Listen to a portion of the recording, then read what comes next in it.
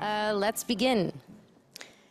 John Reardon is a man of many words. In addition to being international head of watches Christie's, you may have heard of them, he writes for Patek Philippe magazine several books on the history of watchmaking and Forbes. So, if you want to be featured on the list, John is your man. Straight out of Die Bundesrepublik, Christine Hutter did it the German way, approaching her watch career with surgical invasiveness from skeleton outwards. Moritz Grossmann, thanks to her, is able to surpass reliving glory days through nostalgia and actually live them. Whoever said Italians were only made for food, shoes, and winemaking didn't realize you needed a watch to keep track of all that. the director of Bulgari Watches Design Center, Fabrizio Buonamassa, reinterpreted the language of Bulgari to a dialect we can all appreciate. Beauty uncompromising of quality. The perpetual swing that keeps the hourglass forever flipping is Michael Tay. His forward thinking has had the effect of ensuring the sands of time keep in his favor, which is admir admirable since usually the race with time is against us. As the group managing director of the Hourglass, let's welcome the Hourglass that flips, flips itself. Roger Smith has already had his intro, so I won't be so bold as to assume he needs another one unless he wishes to do one himself. Um, well, yes, um, thank you. uh, uh, Roger Smith, uh, watchmaker based on the Isle of Man, making a very few wristwatches. Okay, short and sweet.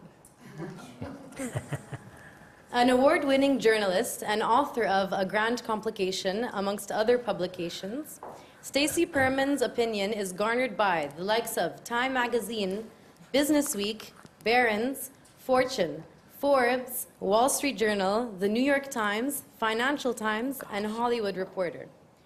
She may float like a second hand sweeping smoothly across the dial, but she stings like a perpetual calendar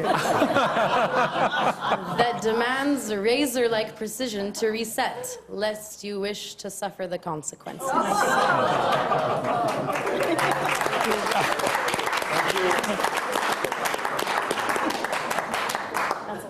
That was hands down the best introduction we've had. Dominique, well done. It's a lot to live up to. It is such an honor to be on the stage with all of you. Uh, I have been looking forward to this moment, for this conversation for a long time. And uh, to begin, uh, welcome on behalf of Christie's and Dubai Watch Week uh, to, this, to this forum.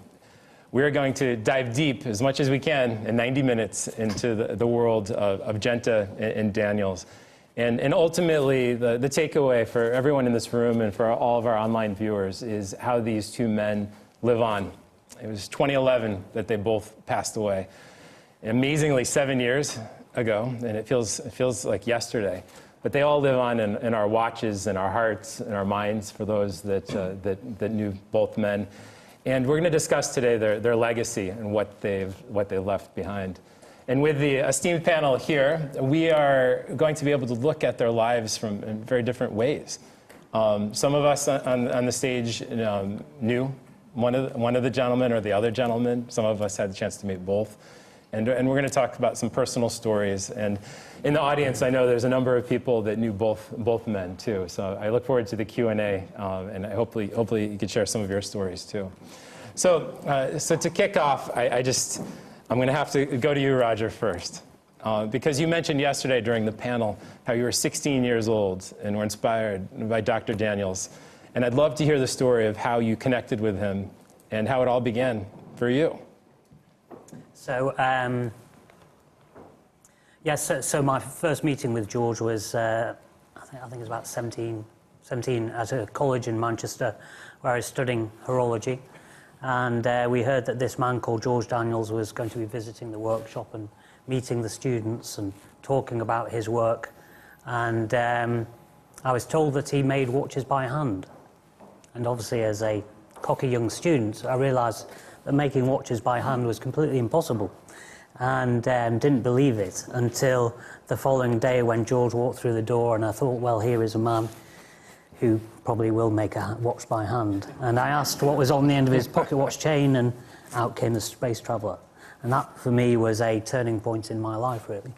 Um, that evening he um, delivered a lecture to the students and he talked about the the years and years of dedication that he'd put into making these handmade watches, where he'd design everything from the hands, the dial, the case, and then drilling back into the mechanism and making every single component in the mechanism, with exception to the balance spring and possibly some jewels.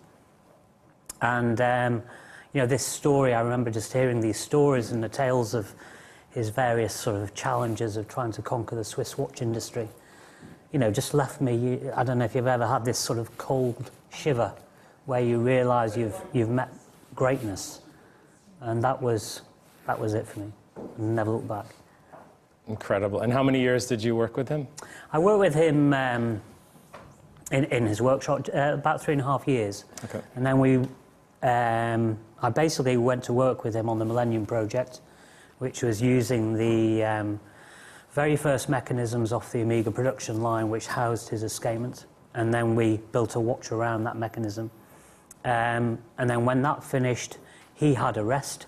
Obviously, he was, uh, you know, an elderly man by that stage. I got cracking with my own work. And then we joined forces again in about 2009, 2010 with the idea of building a, a new range of watches, you know, completely in-house um, which was the Daniel's anniversary watch. And we're still completing that series of watches, series of 35 pieces. So that work with George is, in some respects, it's coming to a close, but we're very close now. But it's living on. Yeah, yeah. Yeah. Later, I'm going to ask you a question about what your, your days were like during that three and a half years, but we're going to come back to that in, in, a, in a moment. I'd like to, to move on to, to Christine, and you knew of George Daniels. I don't I understand you did you never met him. I never met him. But how did his um, his life and work inspire you in um, reigniting your brand? I think we are we are more inspired uh, from uh, Moritz Grossmann, from the heritage of Moritz Grossmann, but it's similar to George Daniel because, uh, as uh, Roger said before, he did he did a lot of. Um, craftsmanship and work in, in, the movements. And also, if you look to the new developments like his escapements, and that's the same way because Grossmann, he wrote a book in 1880. It was the title has been the construction of a simple but mechanical perfect watch.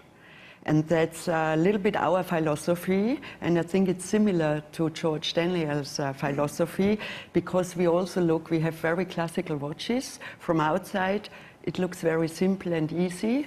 But uh, inside, if you go into technical construction, like we created the twist, a new winding mechanism, we put hair into a movement to stop our tourbillon. Then we, we created the pusher system, which is really between winding and setting time. So we really try to go on in a in a, in a special way, and that's similar, I think, what George Daniel has done. Also, we we produce our hands by our own. So cases no, we do only the technical construction and design. But here we are working with a case maker, but uh, from the movement really we produce to 85, 90% in-house and the hands. And it's already a lot for manufacturing, I think so. It's, it's inspiring to hear this because without a doubt, Dr. Daniels was one of the greatest watchmakers of all time. Many yeah. say yeah, of the last 200, 250 years. And we're also going to be talking about Genta, who many say is the greatest wristwatch designer of time. Yes. He's definitely the most it prolific. And, um, and we're going to bounce back talking about uh, both uh, uh, Daniels and Genta. And, and I'd like to uh, ask Michael, because you're, you're, one of the, the, people on the panel that knew Gerald Genta uh, personally. Uh, can you tell us how you, what it was like when you met him the first time? What was your first impression of him as a man, and what's your impression of his work as a designer? Um, the first time I met uh, Gerald Genta was at his wedding to Evelyn Genta. Really? Um, and I think apart from the proceedings, which was an incredibly grand affair in, uh, uh, in Monaco, um, I didn't, you know, it, he, he didn't leave an impression, um, but the event itself left an impression on me. And it wasn't really only till uh, uh, later on when I first started working in the watch industry. Um, my first job was uh, in Genta. Mm-hmm. Um, and at that point in time, the Hourglass had uh, acquired uh, uh, ownership of Genta. Um, you know, Gerald was an artist, more than a watch designer. And, you know, he was somebody who was consumed with his art. Uh, he painted every day. Um, and I think that's what motivated him. And I think this is where it's, it's uh, you know, he, he, he has had such a distinctive flavor because he didn't train as um, a designer, as a classical designer. Um, he trained as a jeweler, as a, a goldsmith. He was able to um, look at um, objects in a very different manner. Um, so not as, uh, not as a, a classical designer per se. Um, and I think this combination of um, uh, the tactility of being a jeweler and a craftsman um, with uh, the temperament and the, uh, for the lack of a better uh, description, the ego of an artist, um, you know, helped him view watches really as a, or the watch as an object, as a medium for him to express himself. Um, he was an individual who, uh, you know, he spoke some English, but he refused to speak English with me. Um, and, you know, I remember conversations with him where it was a real struggle uh, to convey my ideas and for him to uh, insist on uh, uh, uh, expressing himself in such a manner. Um, but I think that, that stubbornness and that, you know, that confidence in what he wanted uh, to, uh, you know, how he wanted to approach his work, um, his profession, his career in his, on his own terms, um, fed through to his, to his designs. What you said about ego is interesting. Yeah. Because it's a, it's a compliment. It is. And for some people, it's not. No. But in this case, it is. And, and I think um, uh, both George Daniels and Gerald Genta were very confident individuals in what they did and we could all we could all respect that. Um, so we're going to circle back to that in a moment uh, as we dive deeper into their, their personalities, and uh, how the wedding was memorable. It was memorable. There, you have to have a story to tell that you've never shared publicly before. Is that? you know, I think the the, the, the point about um, uh, uh well, ego, their uh, um, he was more Picasso than he was um, a Van Gogh, for example. Yes. Right. And I think his larger-than-life character um, resulted in, you know, grand expressions of his work. And I think it really lent to his ability to, to think differently, to design differently. That's a perfect segue to my question for Fabrizio. You're the one designer on the stage today. So you live and breathe, and you're always thinking differently and, and challenging uh, norms from the past. Now, with that in mind, how has Gerald Genta informed and challenged your work uh, at Bulgari? Uh, it's, uh, I'm a designer. I'm not just a, a, watch designer. I think it's important to, to get inspiration from a lot of different uh, areas. So uh, when I started my career in Bulgari in 2001, the acquisition was uh, 2000, if I remember. Yeah, 2000. Uh, so it's uh, inspired me for sure because Genta makes a lot of uh, impressive watches, and I'm really surprised when I listen to you. He's more an artist than a designer because he introduced uh, during his career a lot of innovation, small innovation in terms of design. So it's um, I never met him. Um, if you love watches, for sure you have to be inspired by some products that Gerald Genta designs. I'll try to do my best to, to respect and at the same time to make a step ahead this kind of heritage, this kind of legacy, even before, even because I work for, for Bulgari that hold Gerald Genta and Daniel Roth, so it's, uh, it's, even, uh, it's even more difficult because it, I have to manage the heritage of two different brands in one product. And uh, when we decided to go ahead with the Octo in 2001, we decided to revamp this, this brand. And for sure, one of the most iconic signature of Gerald Genta is the octagonal shape. But for me, it's not the most uh, iconic one because they say that uh, Gerald Genta. That's why it was surprising because it's uh, it's an approach uh, in terms of products uh, very very come from the design point of view. He changed the way to wear a watch. So he makes this beautiful uh, bezel, these beautiful cases, this beautiful bracelet, but he changed the way to wear a sport watches. Before Gerald Genta, you have the sport watches, and after Gerald Genta, you have a different perception about sport watches. And the most important things for me was not the octagonal shape for the bezel, but was the link between the bracelet and the case.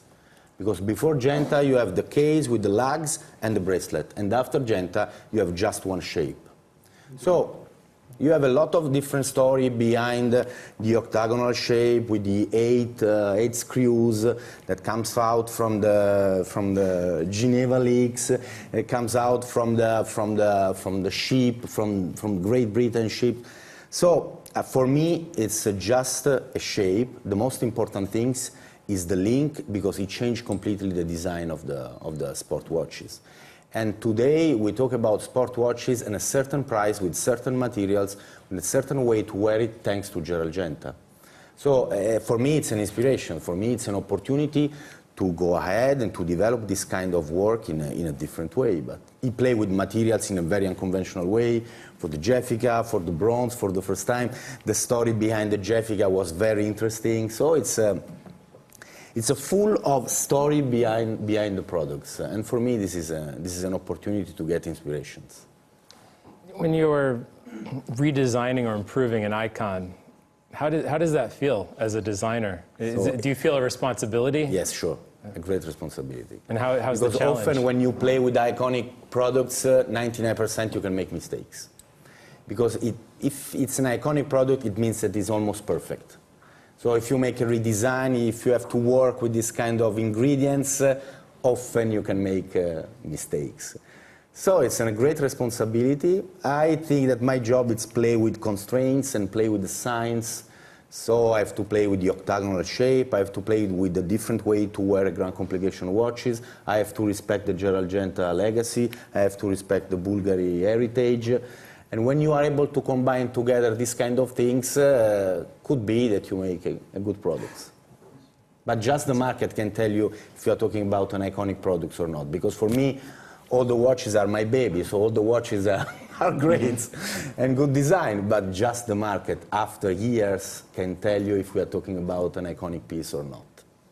Interestingly, many of these designs in response to the quartz revolution, uh, we could really talk a lot about Agenta and Daniels in the 1970s. This is a question for, for Stacy wearing your, your cutting edge historian uh, hat.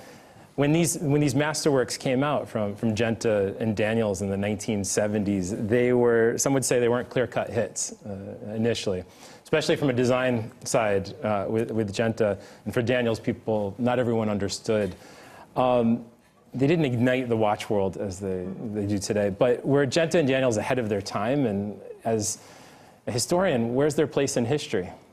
Well, I think they were definitely ahead of their time because, as you said, they, they, both of their designs and, and, and in the case of Genta and Daniel's watches uh, were not, you know, and, and embraced immediately.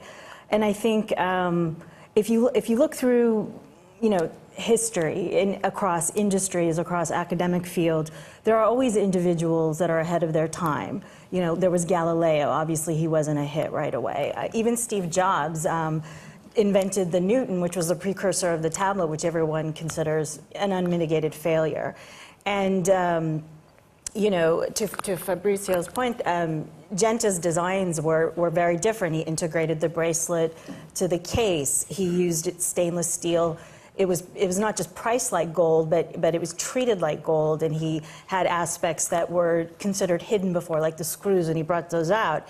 Um, and and it, it took some time um, to, to, to Daniel's. Um, I mean, he, he's, he's talked about how he made prototypes with Rolex and, and Patek, and they turned him away. And while he's closely associated with Omega, I think what it took 20 years before that they really embraced the coaxial escapement. so when I think of uh, ahead of their time, I, I would say yes. But I, when I was thinking about these two men, I was thinking of this, this conversation I had with this Japanese monk several years ago. So he was this 13th generation monk. Um, his father spent his life rebuilding the temple that the US bombers destroyed in the war. And he was spending his life um, putting the artwork back in the temple. And he commissioned this American painter to paint the ceiling after seeing her work in a gallery. And it was a very maverick choice because she was not Japanese, she was not a Buddhist, and uh, she was a woman. And when I spoke to them, he refused any prototypes or sketches beforehand. He said, just do it. And she said, what if you hate it? And he said, everything looks strange for 400 years and then it's fine. so my takeaway from this is that, you know, often innovators that are ahead of their time don't, aren't respected or um, embraced upon execution or even during their lifetimes. But if there's that talent and there's that singular vision, it will rise at some point. Better in their lifetime would be nice, but not always the case. And that, that's what I think about when I think of these two men. I think along those lines, seven years after their, their passing, we, we look back, it's a history now. These, these two men transcended reality, and, and almost everything they did was, was brilliant. Mm -hmm. But uh, like, Roger, you saw the challenges at the time. You saw the success. You saw, saw the failure. So, so two questions. Can you, um, can you comment, what was it like going through the day-to-day -day struggles uh, uh, of working with Dr. Daniels? And, uh, and then I'll have a follow-up after that. Okay. Um, yeah, I mean, it was, uh, it, well, is, is a fascinating sort of world to enter. You know, um, I remember turning up on, is the, it's ingrained in my brain, I think, 90, uh, 2nd of January 1998. Walked into the workshop and there was George tidying up a lathe and I suddenly realised here I was, was walking into this man's domain Nobody else had ever been in that workshop or worked in that workshop. And um, here I was, hopefully with expectations to learn a lot from him, and I did. And his, it was an incredible period, and um, I often describe it as the sort of finest finishing school ever. For many, many years, I'd been trawling through his book Watchmaking and struggling and trying to, you know, follow how he built his watches, and then suddenly to have the man demonstrating these skills in front of me was, was an incredible sort of period. So, was he patient? Well, I mean, yeah, surprisingly, he was. He was. Um, I don't think many people thought I'd last longer than a couple of weeks, actually, um, because he had a, a ferocious reputation. And uh, I mean, I can explain more about that, my thinking behind that later. But um, I think what he perhaps saw in me was somebody who wanted to learn. And as long as I was continually wanting to learn, he was happy to give as much information as possible. I remember one day I, uh, we were making these Millennium watches. Initially, I was only going to be there with him for a year, and we were going to make perhaps nine to ten watches. And then a few weeks later, we had 50 orders. And so that whole process um, extended. So I set about making 50 sets of hands, so minutes hand, hour hand, seconds, and a calendar hand all sawn out with a piercing saw out of a sheet of gold.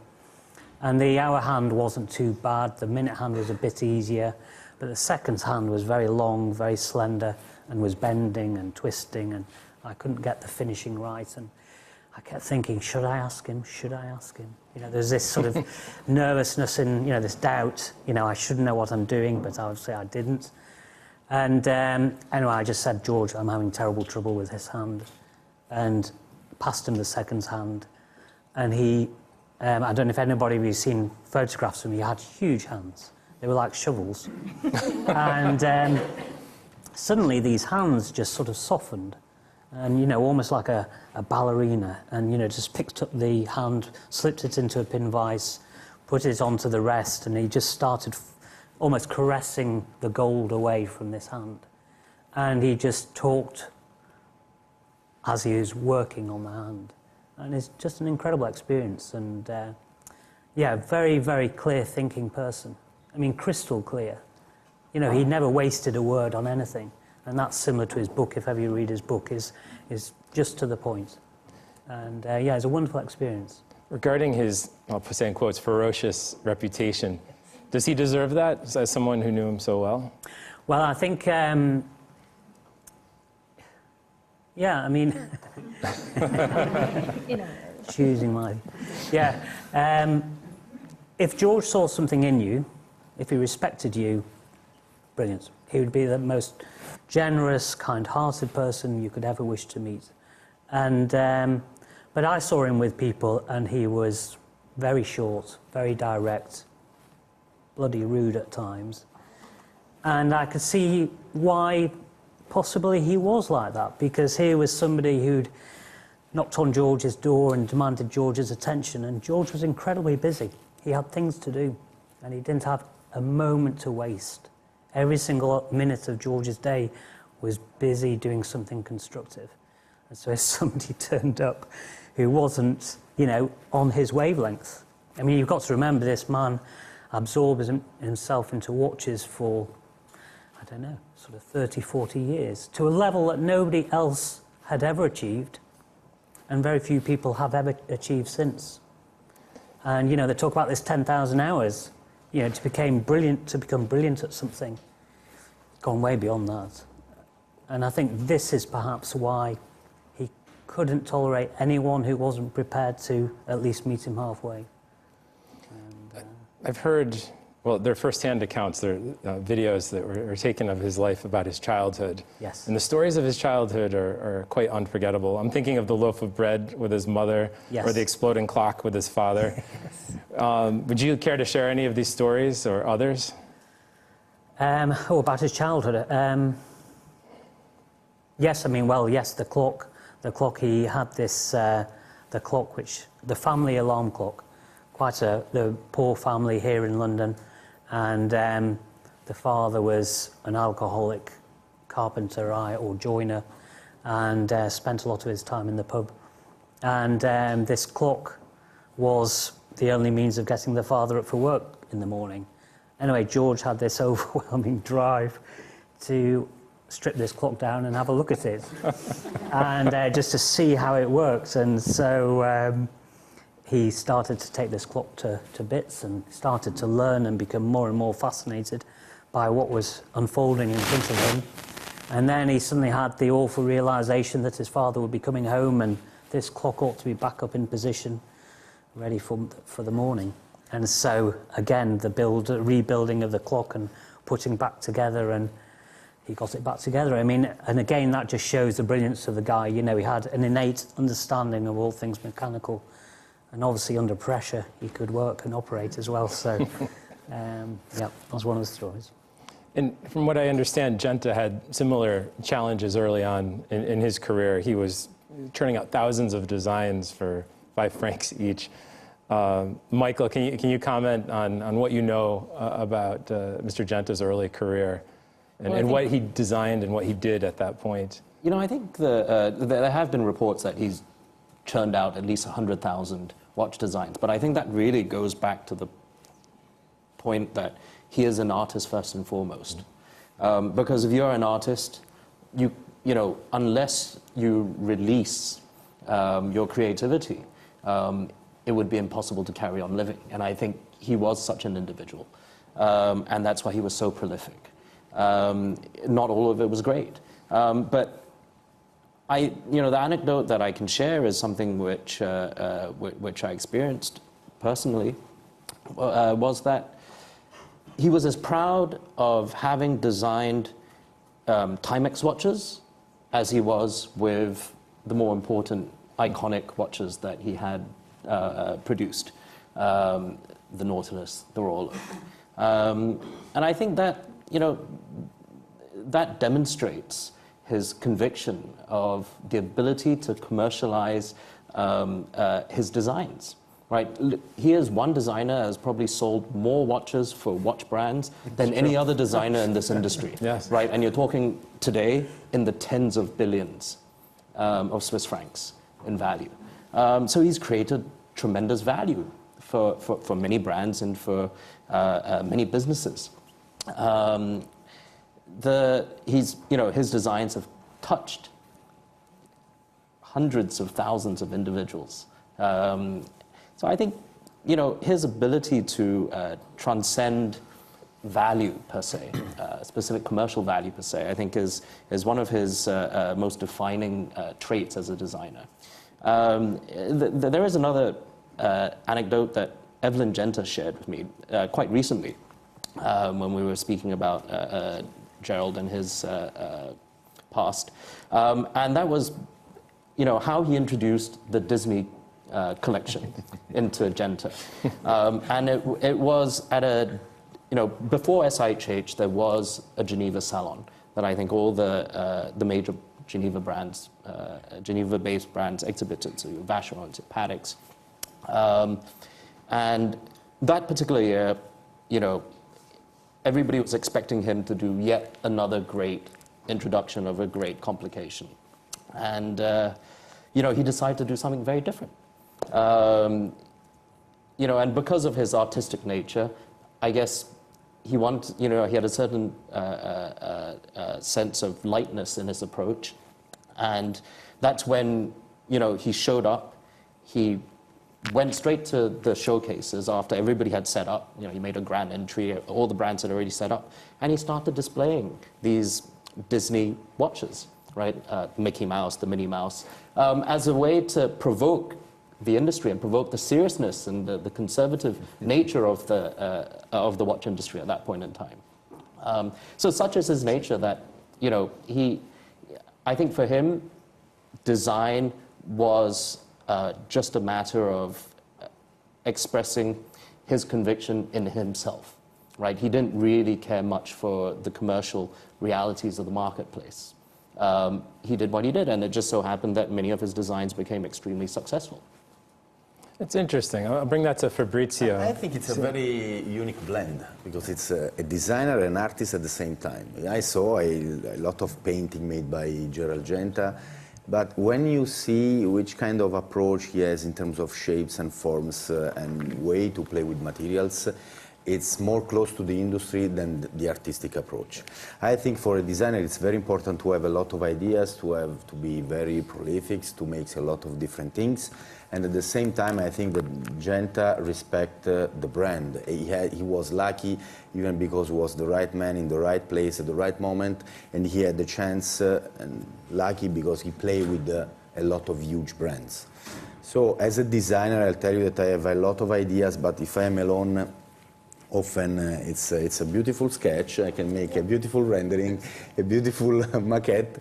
But if I don't have behind me a huge brand that won't invest uh, in my ideas, uh, the story uh, become different. Uh, for sure, it's a matter of ego because you have to be the first. You have to trust in your idea because otherwise it's impossible to sell it you spend all your day or your night to think about object that doesn't exist that have to be your expression. And you have to be, be able to respect the brand. If you have an idea for a certain brand i have to start to study the brand. That i discuss a lot with these kind of things even for uh, the, the students at university. You have to know very well uh, your playground. If you want to propose a watch or a product for a brand, you have to know very well the brand because if you don't know it, it's impossible to make an evolution of this kind of science. So Genta, I think uh, I discover, honestly, I discover a new, a new Genta because I was, uh, I was convinced that it was just a, watch designer. I saw he makes a lot of paintings. We have the Genta archive uh, in, uh, in, in, our, in our office in Neuchâtel, but it's true, in a very artistic, uh, artistic approach. Often he has a very artistic approach.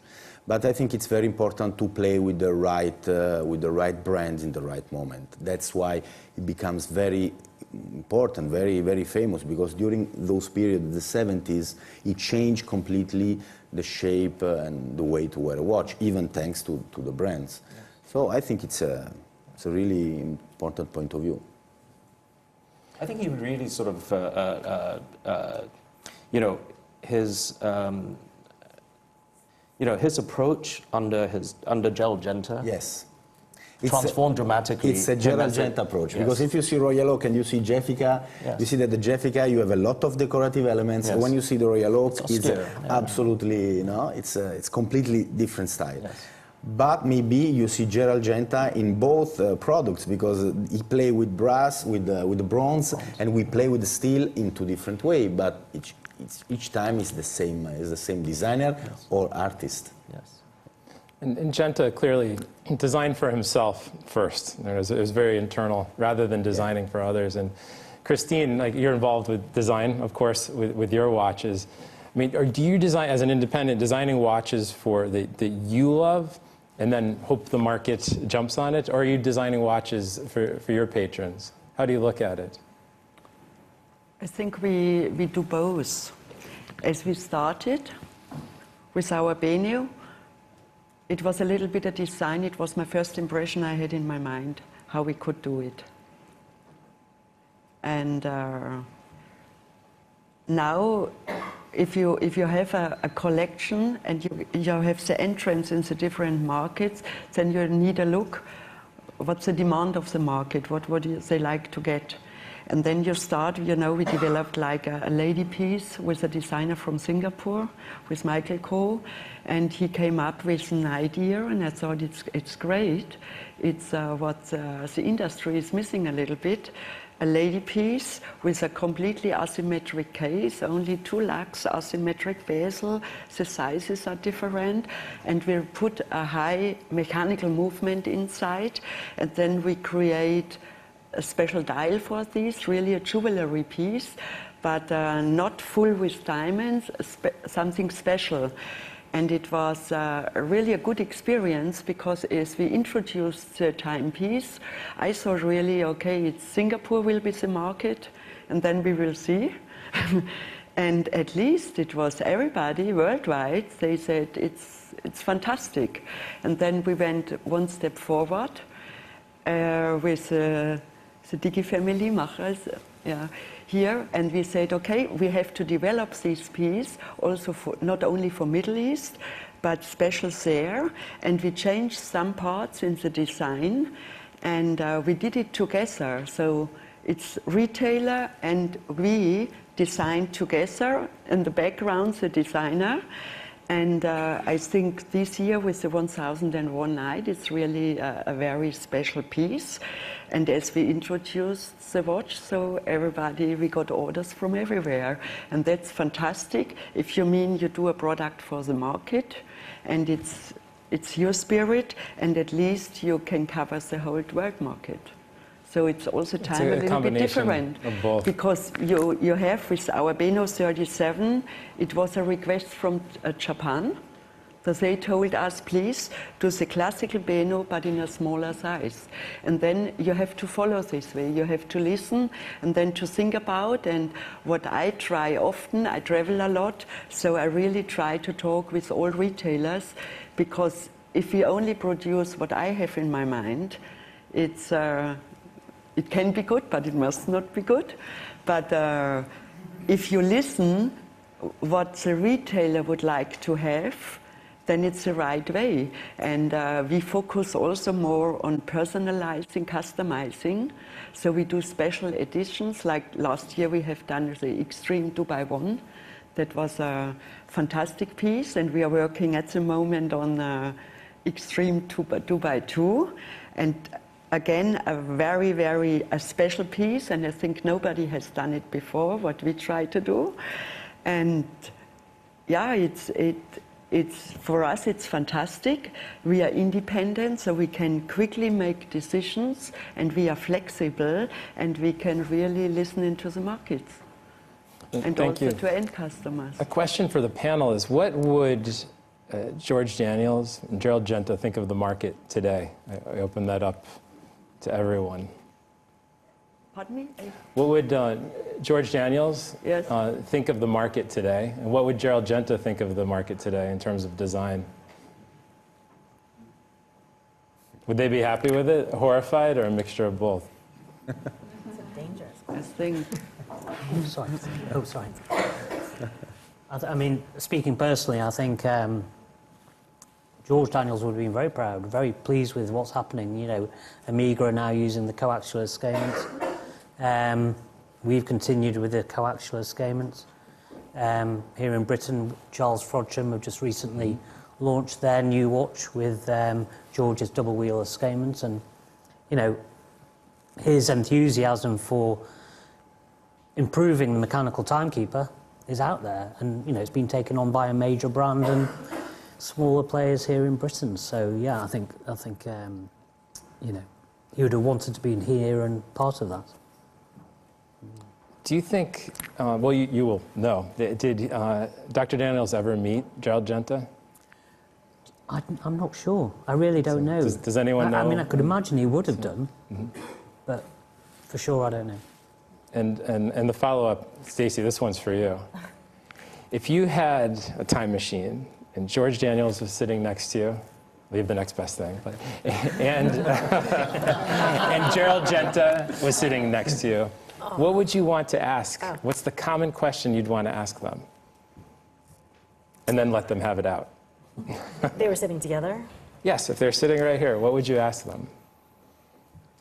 Gosh. Um, well, they were such I- iconoclasts, and I got the sense that they, you know, didn't have a lot of sacred cows. Um, I guess maybe the chicken and the egg question is it is it the technology or the design?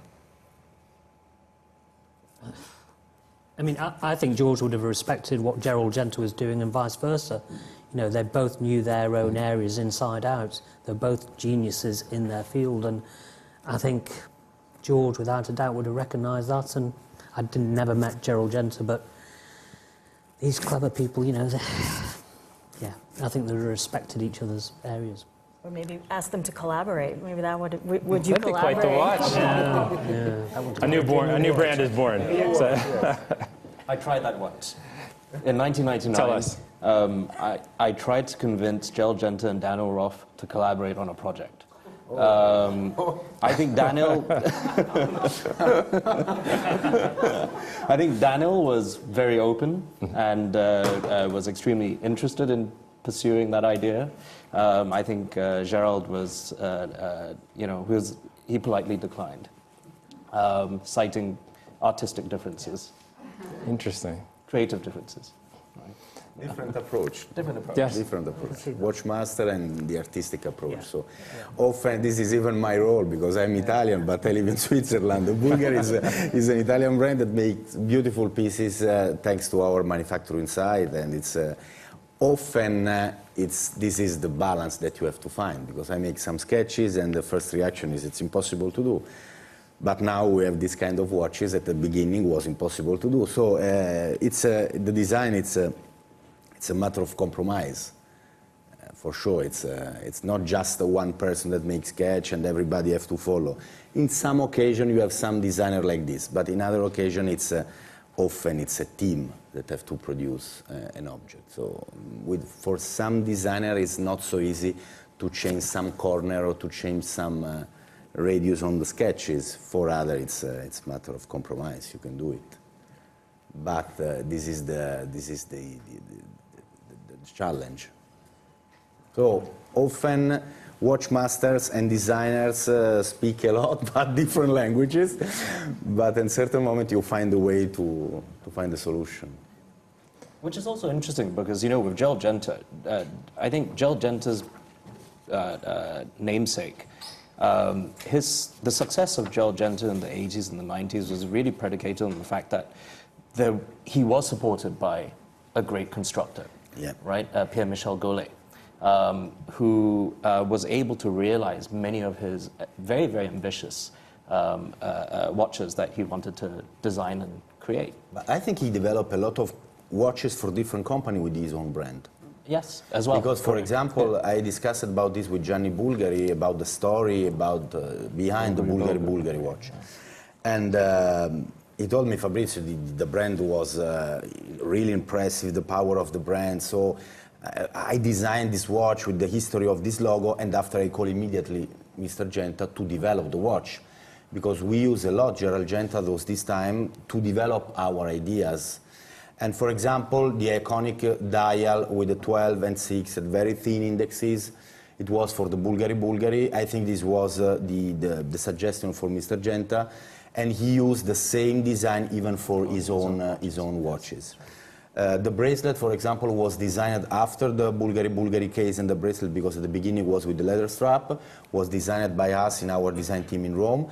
But I think the Bulgari Bulgari is a combination between two uh, great minds, is Gianni Bulgari and Gerald Genta.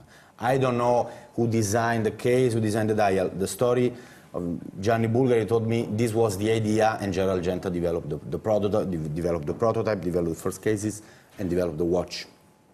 But the idea to put the logo with this uh, uh, portion of cylinder, very flat but thick, with this uh, inscription on the bezel, I think comes from the Bulgari, from Gianni, Bulgari. It's interesting, um, going back to 2009, there was a, a, a writer um, who some may know in the room named Konstantin Stikas uh, from, from Greece. And he called on the phone both Gerald Genta and he called George Daniels in 2009 and did interviews with each of them. And there's six page interviews with each of these men uh, before they passed away in 2011. I, uh, I read these interviews, and I'm just going to share a couple quotes, and then we could talk about it to the panel. Because this, this, well, first is the, the voice of, of Gerald Genta, and it comes to, along to that point with the Bulgari Bulgari. There's always there's different sides to the story, and sometimes the Yes. truth is in between. And uh, I'd like to, uh, near and dear to my heart, the, the initial development of Nautilus is quite interesting to me. So, so these are uh, Gerald Genta's words, his, his version of the story.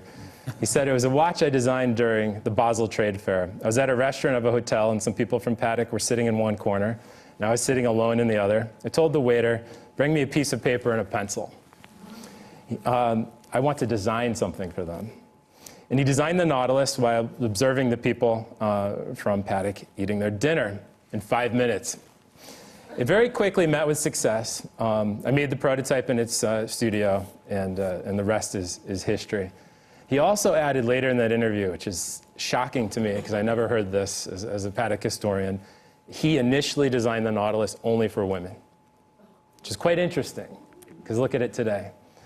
So, um, any, any thoughts, any versions of that story you might have heard differently? It's, it's part of the myth. So it's uh, these two these two masters are still alive through the products, through the movement, through the watches.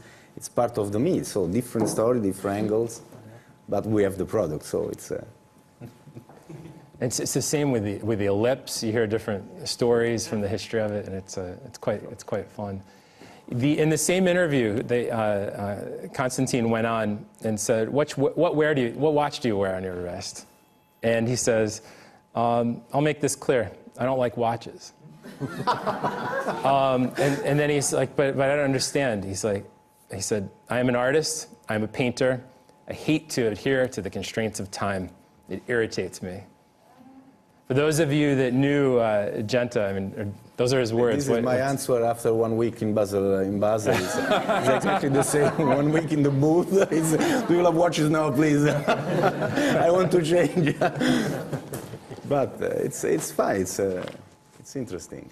He, he was also he was a visionary. He talked about material, something that, uh, that everyone here has, has worked with. Um, he talks about how you brought up the bronze Gefica, how he wanted to try different materials. Um, he said when, when one creates highly valuable watch, its price does not depend on the material. We could use platinum or aluminum, makes no difference. And that is ahead of its time, considering what we've seen independents do. Um, would, you, would you like to comment on that, Roger? Use of materials that you've seen in time? Um, it's very, probably very difficult for me to comment on that because I use fairly traditional Exactly. materials. But uh, no, I mean, I can see his point, and you know, it's it's a different way of expressing yourself, isn't it? And um, that's what an artist needs: colour and so on. So, We're waiting for a titanium watch from him. Rubber case series two. exactly. and uh, do you remember he, he was being called in 2009 because you were you were with George at that time Um, yes, indirectly, yes, yes, I was on. Yes. because in this interview he talked about you. And I'd like to read his words. Oh dear.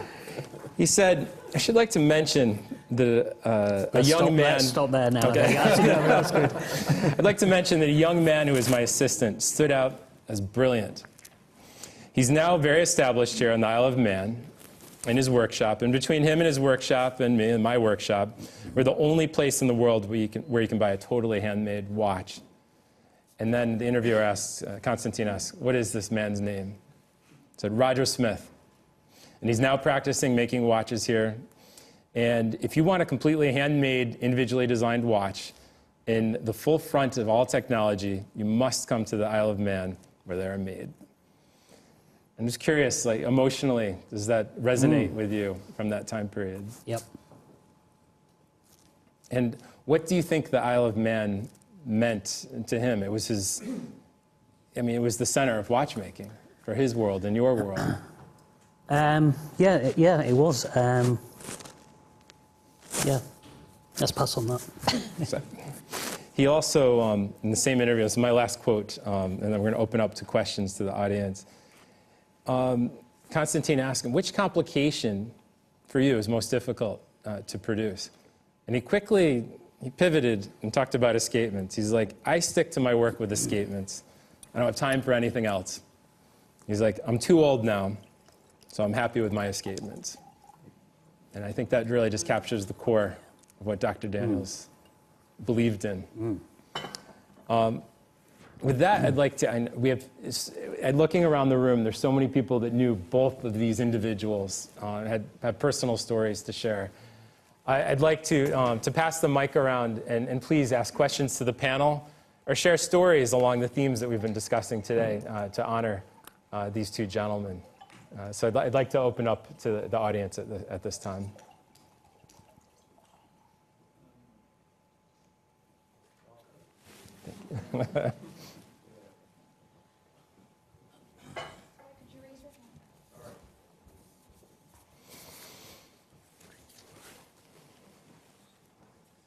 Okay, so I guess this um, goes more to Fabrizio than anybody else. When uh, Audemars were looking to perhaps build on the success of the Royal Oak, uh, they gave a design uh, mandate to a very young designer called Emmanuel Gate, or Gate, I can't quite remember how to pronounce his surname, uh, for the Royal Oak offshore. Uh, at the time, the rumors were that uh, Genta was less than happy, to put it mildly, with the design that deconstructed what he thought was ideal in its first instance. And yet today, with uh, Audemars celebrating 25 years of that said design with the future of first, is it true? Is it just a case of a matter of time before uh, something becomes iconic and classic or accepted again? I think at the beginning, of the Royal Oak, the sales was very bad because was a, was a, a brand new way to, to, to wear a watch. Honestly, I don't know because I don't know the story. I, the story that I have is Gerald Genta designed the watch in, uh, in one night because the CEO of the Mapiguet called him, I need a watch for tomorrow because we have, we have to present a new products and they, they make these sketches. Um, it's difficult to, to say, but at the beginning, when you want to break the rules, you have to take your risk. Often uh, you love your products, often you don't love it. It's part of the game, but you have to be, you have to be able to imagine. You, have, you, you need to have, you must have a vision. So I think this is the most important things. It's difficult to answer to your question because I don't know, we discussed it before, we have a lot of history behind. I don't know if Genta loves the Royal Oak or, or not, honestly. It's, uh, but but I, I think it's, uh, it's something that breaks the rules at the beginning. When you see something strange, uh, the first reaction is, what is this? Imagine that when, when we make watches, now we are working on product for the next three, four years. And when we make watches, when we make the sketches at the beginning, if we say, oh, okay, now it's fine, it's good, maybe in the next four years it's something that has become old. So the Royal Oak break the rules, and maybe at the beginning was very, was very hard to sell it, but honestly, I don't know if Genta loves the watch or, or not. Maybe Michael know the story better than me. Um, Sorry, that, that wasn't, No. just to clarify, Yeah. it was the Ah, sorry. No, it's about the it was offshore. sorry. It was the offshore um, that Genta was less than happy with. Ah, yeah, yeah, sure. I totally agree with He- you. he thought because that, if uh, you design the Royal Oak very thin with this kind of approach, when you make a watch uh, big like this, maybe as a designer, the idea is that you destroyed my my thought. Yes. because it was very thin, was very refined for a certain point. But this was an opportunity, and the brand have to catch the opportunity. I think it's uh, you sell your idea, and that's it. So it's, But, but it's a now, part. but, but now the offshore is iconic. Now, it's Now the shore is iconic, but I think that's my point. It's my taste. Uh, The Royal Oak, the Jumbo, is more iconic than the, the offshore. And I, th- I think if you look at Genta's work um, from that period, uh, the, the height of the cases um, didn't exceed 9, 10 millimeters Yeah. tops. Um, and I think, you know, if, if one were to consider the, even under Gerald Genta, the, the, um, the largest watch that he made, um, uh, that he designed for Gerald Genta uh, under his namesake brand, uh, was the Grand and Petite Sonnerie, right? And that was kind of a Mayan-looking uh, uh, structure of a case, um, right? And I, I- that, that was the, the, the, the, the most maximum uh, uh, case size that he had ever gone, or, or in terms of height. Um, so I think he respected elegance, he respected proportion. He was a classical um, uh, uh, um, artist, uh, classical gentleman to begin with. So I think when it, it, it could have been possible, I never had a chat with him about it, but it could have been possible that, you know, it did, uh, you know, when you tried to re- redesign an icon, um, and, you know, you were not asked to redesign that But I think uh, the Jumbo it's different from the offshore. Uh, so it's uh, it's not to redesign an icon to try to introduce a new watch with the same uh, with the same design for a different client.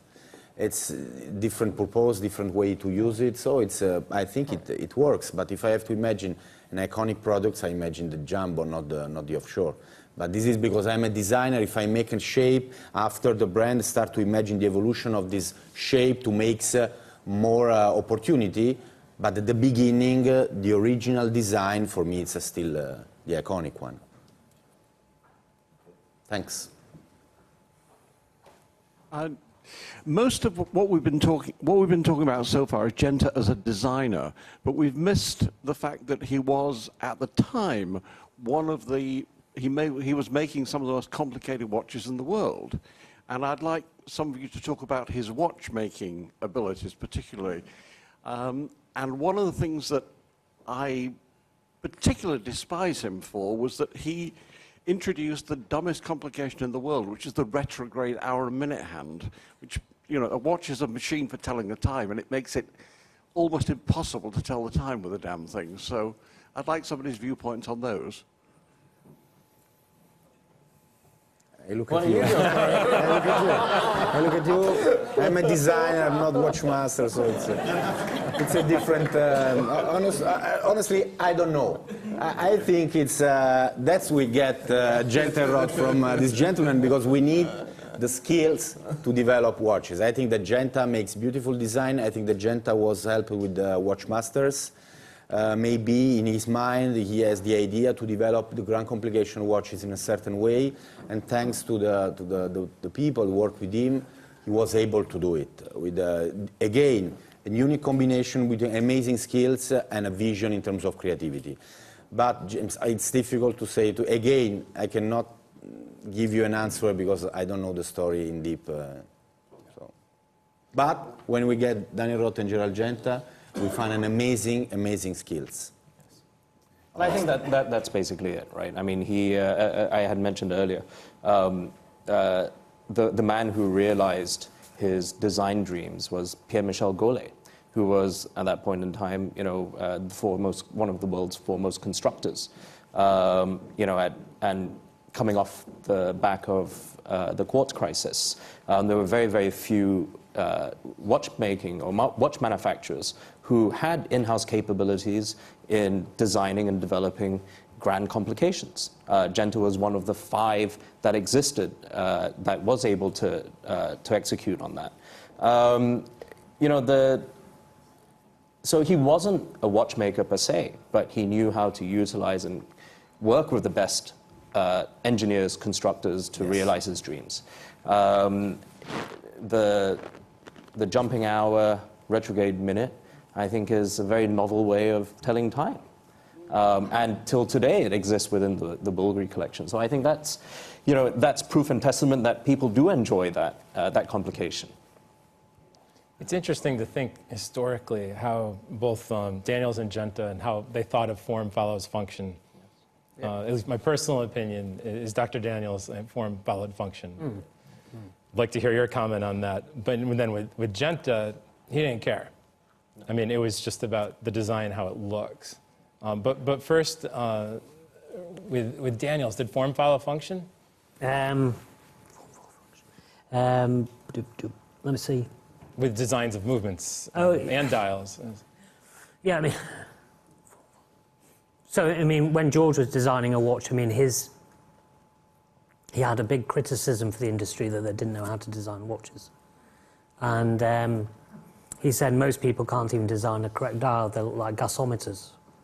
So um, his his key goal was, you know, this is perhaps a difference in, you know, obviously key difference in design approach between Genta and Daniels. His his key um, focus on every single watch he made was to design the dial first. Once you can make sure that the dial is legible, and with an instance you can tell the time. You don't need to read the time, just with a flash you can tell the time. If you can achieve that, then you have a great watch. And so with every single watch, I mean, I've got sketches of half a dozen to a dozen pocket watches where he's just practicing different layouts and combinations of seconds, chapters, and up and down, and temperature compensation dials and things like that, until he worked out the correct balance and feel and weight of the whole dial. It's only at that point that, that you then drill back into the movement behind and start to design the mechanism, mechanism behind to come through to the dial. So certainly the dial led the whole of the construction of the mechanism. And I'm assuming he never used computers to design anything. What, what about Genta? Did he use computers? Always handwritten. Impossible. It's an artist. Yes, it's impossible. which is beautiful because we're talking about uh, two men I don't know. in It's a a pre-CAD different, uh, world. different age. Yes, now you are obliged. Without computer, you cannot make this kind of uh, piece of art. So you have to be able to manage uh, the, the technology and the skills uh, in, a, in a correct way. If you are obsessed by computer, often in terms of design, the computer-aided design could be dangerous because if you are not able to manage it, uh, it's the computer that make the watch, not you. And uh, it's, it's not so easy. You have to very well know of the softwares because otherwise, you are not able to manage the shape on the surfaces, at the end you have an, it's a strange Frankenstein watch. Do you see in the industry today, not talking about specific brands, are they letting computers design their watches for them? Today, without computer, uh, honestly, I cannot imagine to have, uh, to have watches. With this time to market. If I have 10 years, maybe I can make a watch. But if I have to product a watch to make a, a redesign, to make a re, uh, restyling of a dial, dial is less complicated. Use computer just for the graphic design, but uh, in terms of uh, surfaces, for cases and for bracelet, first of all, the bracelet is a piece of engineer have to work with the buckle, have to fit on your wrist. Uh, the bracelet is most difficult things. When, when you design watches, the bracelet is a nightmare. And they have to fit with the case. That's why, for me, Genta is a master, not for the octagonal shape, I can back, but for the link between mm-hmm. the case and the bracelet. The integrated bracelet. The integrated bracelet, yes. But coming back to- for designing computer, so if, if I look now what, what Grossmann is doing, if we start really, we start with drawings. So the first design drawings are made by hand for the dial, Ah, yeah. for the cases. Yeah. And after, we try to set also the movement, if we start with special constructions. So also technology, Yeah, sure. we do everything by hand. And after, you only put it into Yeah, yeah, sure. I don't, I don't use computer. I make sketches just by hand. But I have even a team of designers that took my sketch and transform it, and transform in a beautiful, uh, in a beautiful rendering with the 3D surfaces, uh, A classes. It's fantastic. But because I need the team, because otherwise, if I'm alone, I can make beautiful sketches, and after I have to immediately find someone that make a 3D files to make a f- prototypes or the movement. It's uh, it's the same, but it's a, it's a fantastic approach. Back to the floor. Okay. Is this is working? Yeah. Okay, regarding the, the, the Royal Oak, um, Audemars Piguet chose not to celebrate the 20th anniversary of the Royal Oak because it, the, the Royal Oak offshore because they had just celebrated the, the 40th anniversary of the Royal Oak. So I, uh, I talked to, to, to Emmanuel Gueit, and actually he said that Genta went nuts when he saw the Royal Oak offshore. He told him, he made a huge fuss at Basel World and, said, and told him, you killed my watch, you killed my watch. So that's just uh, disclosing uh, Emmanuel Gueit's take on the, on the, on the Royal Oak versus, uh, versus Gerald Genta. And now, I don't want to sound iconoclast, but I need to assume the part of the devil's advocates. So Gerald Genta is regarded as a, as a genius, and he was. Um, but there, there are a few of us, a little bit me included, that think that it milked a little bit the cow too much regarding the integrated design, selling the same overall concept to several companies. And we, we had the mention of the Mayan pyramids. It's funny because yesterday there were, several of us were having dinner. And we were going through Genta's designs, and some of them were well, the word more used was ugly. So was that? It was, it was experimental, but those I would also like to know what's the value of those those those timepieces in in auctions. That those complications with the with the pyramid structure, that you know the 80s were not a, a, a, good decade for, for watch design and uh, overall. So uh, I would like to, to, to, know your take on, on, on that, the, the, the, the, the integrated design plus those designs that are less known for the worldwide audience. Uh, I think uh, uh, the pyramid one is not so good because what's so decorative. And when you play with decorative elements, it's the first time that become old. The pure shape is forever, we talk about Royal Oak today. And uh, the pyramid was made with a lot of decorative elements, even the Gefica, a lot of decorative bolts around the bezel. You say today, and you can immediately recognize uh, the age. It looks like old, because the taste changed during the years. It's a vintage pieces. But when you talk about pure forms, uh, like the Royal Oak, like a Bulgari Bulgari, like the Nautilus, it's just uh, the different forms that play together, and uh, it's timeless. This is my point. I don't play a lot with applied decorative elements because it's the first thing that becomes old because it's a, it's matter of style. It's just style. When we talk about design, we don't talk about style. We talk about a lot of different things. Idea, vision, different way to play with materials, small innovations, uh, but not decorative elements. If you need decorative elements, it means that your idea is not strong enough, and you need to make maquillage. If your idea is very strong, you don't need to make decorative elements, because it's strong itself. I think if we look at uh, Genta's work and Genta's body, and if we reflect on that as Genta the artist, you know, with all artists, uh, visual artists, um, you have the early career, the mid-career, the mature, you know, yeah. mid-career mature period, and then you know the, the period they have towards uh, uh, uh, uh, the end of their lives. Um, so if we were to look at Genta at the outset, um, he first burst onto the scene in the 50s. He had just graduated. Um, some of the more iconic designs of the 50s um, were really the, uh, uh, the work he did with Universal Genève. Um, and if you think about it, one, that, that was perhaps one of his most successful um, early designs was the Polerouter, where it was quite minimalist um, and very, very different to the works that he produced right at the end. Um, his, you know, it was quickly followed up with uh, the uh, reinterpretation of the Seamaster, of the Constellation, um, uh, you know, in, in the late 50s.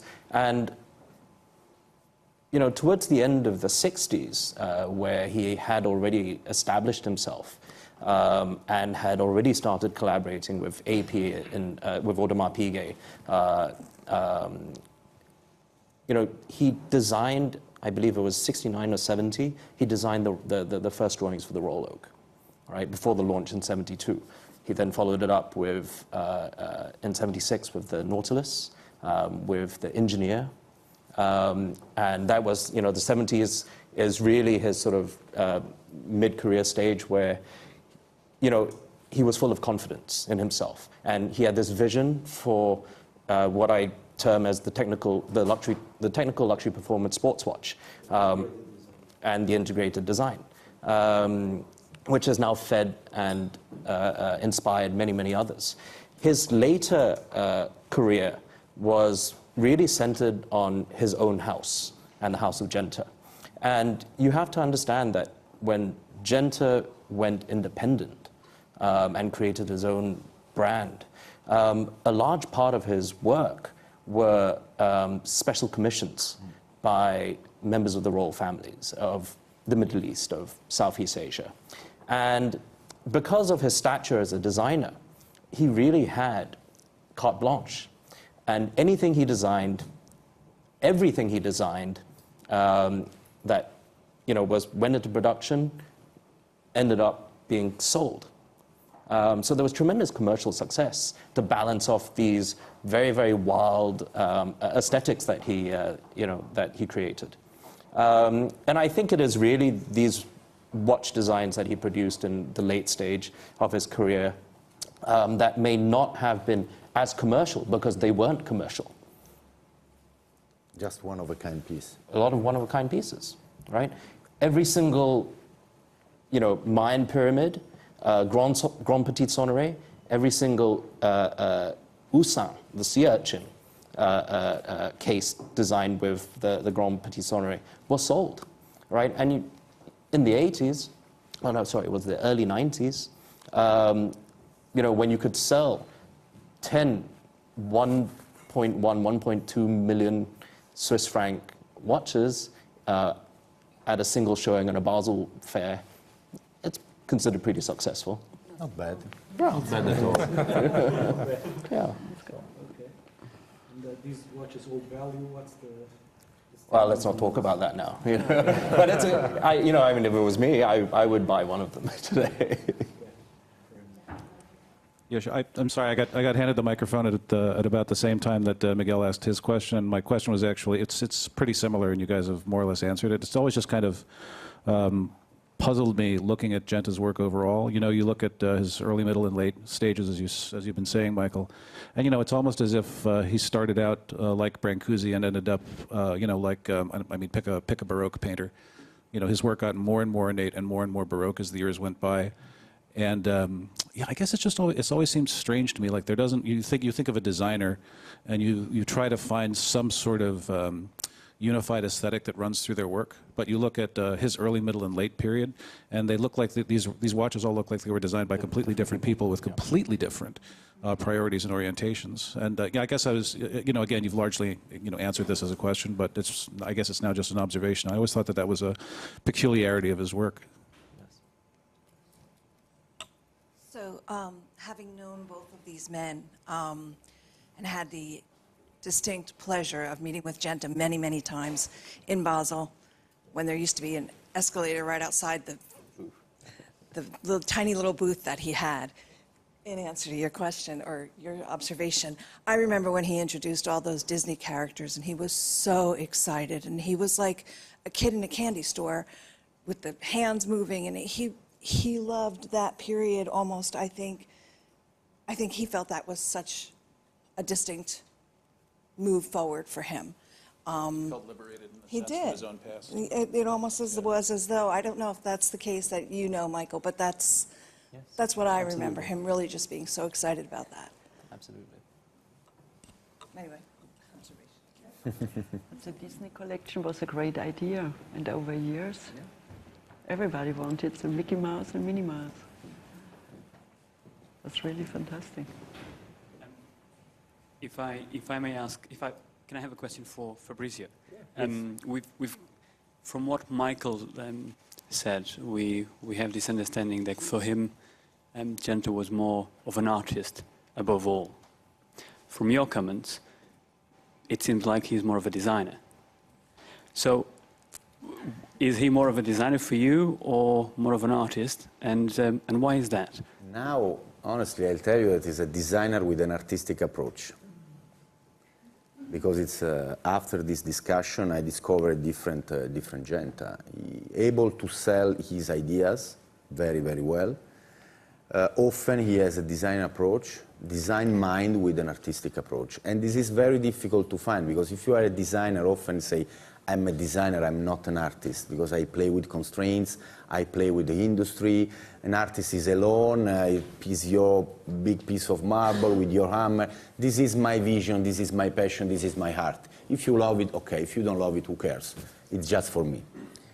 But this kind of mix, uh, it's really unique. That's why now I understand that the, you can see so many different Genta approach during his career at the beginning and after he start to remove because all the artists more or less have the same uh, career. At the beginning you make a lot of effort to establish yourself and after you start to remove things from your artistic uh, pieces and after at the end you change completely because you have to be uh, that's my idea and that's it. I have a lot of clients that love strange things and i have the opportunity to make this kind of watches with the pyramid. So now I changed completely my perception even when i, I just talked about decorative elements. Was not decorative elements. Was uh, like the exotic cars. You have the opportunity to make something very strange for one client for 10 clients. So it changed completely the perception because we receive a lot of requests for one-of-a-kind pieces, for sure for Serpenti, for the Octo collection, and we receive a lot of strange requests. That's why I want a watch just for me. You have to play with this material, you have to play with this shape, and often I say this is for, for me, it's not good because it doesn't respect the heritage of the brand. I cannot do it. But often, if you are alone, if you can manage your own brand, you can make all what you want. You, have a, you are a designer with an artistic approach. You have a lot of clients who want to wear your amazing, incredible pieces. Uh, you are more, in, in the last period, you are more an artist than a designer. At the beginning, he was a designer, and at the end, he was an artist. Fair point. Exactly. Make a deal. Good deal.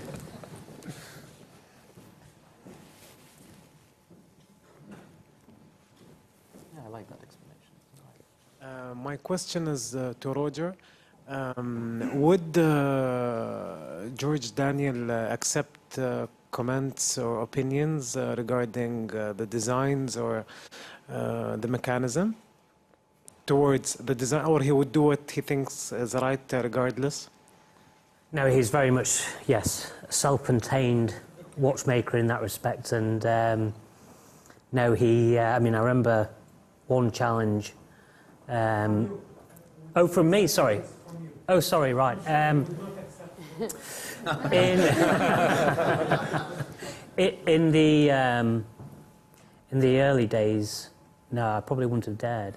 Um, I remember having a discussion about the Millennium wristwatch and thinking that the positioning of the crown, which is sort of in an unusual position around here and is very small, and I, you know, I just talking about the practicalities of that, and he wouldn't have it, you know. And I, you know, it was his watch, so why should he listen to, as he called me, a young upstart? But, um, but latterly, he started to, you know, you know, be more open, and I designed the Daniel's anniversary wristwatch, um, sort of for him, and uh, that was accepted. And um, but for me, the big question was uh, in that process, in that particular watch was during the design phase of the anniversary watch, I'd had the idea to create the single wheel coaxial escapement. And I knew there were real benefits to using that. And I, I, I, didn't really want to go back to the two individual separate wheels, the upper and the lower wheel, because of the challenges I'd had in making those. So uh, the day came when I had to make this proposal to George. And um, he came in, I asked him if he'd call into the workshop, and he did. And I told him what I'd been thinking about, and I'd actually prepared a watch, one of my watches, but with the uh, single wheel coaxial in. And I said that, uh, you know, I really need to put this in your watch. And he looked at it and, you know, under the microscope, said, fine, it's an improvement. It's a worthwhile improvement, so go ahead. Uh, so that was a big moment, yeah.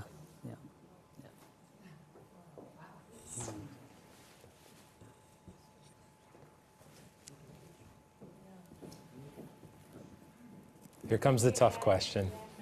Get ready, panel. Um, I think this could be open to anyone to answer. Um, we've lost, I think, from a watchmaking perspective and design, two of the biggest masters that, unfortunately, I never had the pleasure to meet. If we were to do something different today and moving forward, what is it that we can do to make sure this, the legacy of people like George Daniels and Gerald Genta continues to live on, and every other great master that comes after them will be celebrated, not just by talking about designs and, and the, the commercial aspect of those timepieces, but really about the people who were not really recognized for their timepieces and their design when they were alive, only celebrated when they were gone. I think recognize those people. Um, Yeah. Tell their stories. I mean, these two men had, we didn't really talk about it. I mean, you talked about some of it in anecdotes, had amazing personal stories. And I think it's come up a lot in these panels, um, talking in, in various aspects of marketing and, and, and other, other things. But watches people talk about in terms of the technology or they talk about in the terms of the design but i always think there's this third element that, which is this magic which is this emotional connection. There are histories and tradition and stories who made the watch who wore the watch what was the context the framework of that. And people are fascinated by that. And i, I, I- agree with you malik. I don't think that's those stories are told enough. And i think if you want to endure a legacy um, that, that's one way to, to, to more storytelling. But I think uh, if you take George Daniel, we just, Robin and uh, myself, we had a discussion before. So I think it's really uh, Sir Roger. He's now going on and he takes the heritage of George Daniel and he's put it now in the, in the new century. And uh, for design, you have the Royal Oaks in 30 years now, and it's still one of the top bestseller in the watch industry, and it will go on. So it's, it's, it's still there. And everybody's handling it and is buying the watches, and uh, you will not forget it. I think the best way to approach that would be to, you know, for everybody just to go to Seddiqi and the Hourglass and buy their watches. Yes, Uh, I think this is a, a question for Roger. It seems to me you must have and had quite a weight on your shoulders because we're talking about telling stories, but how hard is it for you that here you've got your own brand, you're making your own watch, and all everyone talks about is George Daniels? now, that, that's obviously a benefit, but it must also, at night after a few drinks, do you ever think, God, George Daniels? Um, well, he, he wasn't a bad person, you know, to be talking about, was he? No, I mean, no, not at all. I mean, I'm, you know, I'm hu- hugely grateful for that opportunity to work with George, and the chances are, I mean, I took my first and second watch to show him. My first watch, he said, "Go away, it looks awful." Um, second watch, which was made five and a half years later, took five and a half years to make. You know, that clinched the job.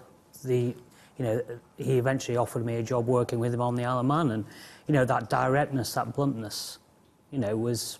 Had he told me the first watch was brilliant, you're a great watchmaker, God knows where I'd be now, because it wouldn't have sold. So, no, um, so no, I'm always grateful for that, and yeah, no, it's, it's, it's uh, I'm carrying, you know, in some respects, I'm carrying on with that sort of drive to improve the mechanical ti timekeeper that he had. And I built on his work, and I think I've done justice to the work. But now I feel, maybe I don't know if Michael could say it, but maybe I'm coming into my own work now, you know, and I've become, you know, And So how open would you be to have an external designer? I wouldn't. Sorry. No problem. He- he's so busy anyway, but uh, yeah, yeah, Lot of yeah, yeah, yeah. No, no, for, for me, it's, it's a very, very personal thing. And over the years, people have said, why don't you collaborate with such and such? Or, you know, why don't we do, a, you know, work together? And I just, I couldn't do it. It's impossible. You know, my watches are my watches and, you know, it's all I've ever done for, you know, nearly 30 years now. And um, you know, likewise, George. You know, he could never have worked with anyone. He could never have collaborated with with with Genta. No matter, I'm sure, as I said, they had mutual respect for each other. But it's such a personal thing. Did he admire watchmakers? Very much. They had a great uh, respect for um, you know Derek Pratt. They had a close relationship and used to bounce ideas and so on. Um, so yeah, no, definitely. You know, he he could understand other people's work, but he had a focus and he had to achieve everything he did with that. You know, what, what Roger isn't saying is the reason why he doesn't talk about himself so much is because his wait list is so long now, right? Yes. There's not much point in talking about Yeah. it. Let's divert the attention Yeah. away. Yeah, I shouldn't be here. All right, we have time for one more question. So, oh, thank you. Um, I had the, the great opportunity to work with uh, Gerald Genta back in 2004 and, and 6. And I remember at that time he was painting a lot and I think sculpt, creating sculpture as well. And um, I wonder, you, Michael, you know, you know him better, but I had the feeling at that time he, was, he, he he really wanted to be recognized as an artist. And uh, I wonder if you've seen those pieces of art and any chance we would see them auctioned at Christie's one day. Um, no, because I think the family are holding on to the, the, tho- those paintings. Um, but he was, you know, he was very exuberant. Um, and I think his, you know, the, the, the sort of final decade of his life, he was very exuberant. The, the colors, you know, I think he was sort of more a, an abstract landscape painter. Uh, he painted figures as well. Um, There were a lot of, I think, Royal Oak bezels in there, in those Th- paintings. Yeah, th- there was a moment, yes, absolutely right. Um, but I think also, you know, and this goes back to the point earlier about designing by computer, you know, using CAD or, uh, you know, Genta was a classically trained artist. Um, you know, he wouldn't just sketch, he would paint his designs, right? So all his, all his designs were accompanied with, you know, uh, they were watercolor works. Um, so he literally painted everything. With that, I think. Oh, another question. Yes. Oh, No, no, No, it's okay. Oh, Jack gets to wrap it up. Um, this is a little bit, it's a kind of question for everybody, but a little bit of question uh, more for Michael, I think. Um, uh, Michael, you mentioned a couple of times Pierre Michel Golay. And, you know, one of the things I've always kind of, that's kind of bemused me about the Swiss watch industry is it, it really forgets its own heroes kind of chronically. And, you know, we, we've been talking about, uh, you know, Gerald Genta and uh, the legacy of George Daniels. And, you know, it, does it strike you as weird that um, it's that uh, Genta's work, so much of it relied on a collaboration with this brilliant constructor whose name probably 99% of people who consider themselves watch enthusiasts have never heard. And yet, you know, the work that we talk about would have been impossible without this guy. Does, does it seem strange that it's not celebrated more, more as a, more of a partnership? Um, well, I think first of all you have to look at the, the, the individual, and I think you know I, I, I must confess, you know I, I knew Pierre Michel for a very short period of time um, before he left for uh, Franck Muller, um, and I think you know Vartanz and Marquez at that point in time had offered him uh, an opportunity to create his own brand, which he did, um, except that I, I don't think it, you know it, it met with tremendous success. I think you know he is a sort of uh, constructor, engineer, master watchmaker who was more comfortable um, creating for um, others. And so if you look at some of the Franck Muller super you know super complications, um, his you know his uh, his signature is all behind that. With the cousin. The cousin is uh, the most overshadowed Yes. uh, personality. What is the name of the, of the cousin? Because we, we, we, we talk, we don't talk a lot about Pierre Michel Golay, but Yes. we never talk about the cousin because he was always working with the cousin. Right. Okay? I think in 90 minutes, we've scratched the surface of talking about these two gentlemen. And I encourage all of you to ask questions of our panelists afterwards. But for now, our time is up. I want to thank this ex- exceptional panel for your time, openness, and sharing. Thank you so much. Thank you, Stacey.